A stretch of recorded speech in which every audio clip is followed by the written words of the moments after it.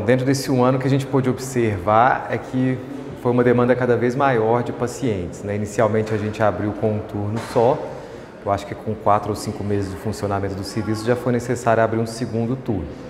E hoje nós estamos funcionando com pela parte da manhã, no turno da tarde também. É uma expectativa que a gente tinha uma expectativa, mas está além do que a gente imaginava. Né? Isso só mostra a carência desse serviço para a nossa região e como que isso se reflete em, em qualidade do atendimento, né? onde os pacientes da nossa microrregião aqui eles não precisam mais se deslocar até onde era feito em Juiz de Fora, né? e, e isso é muito confortável, já que é um tratamento que são necessárias várias visitas ao hospital.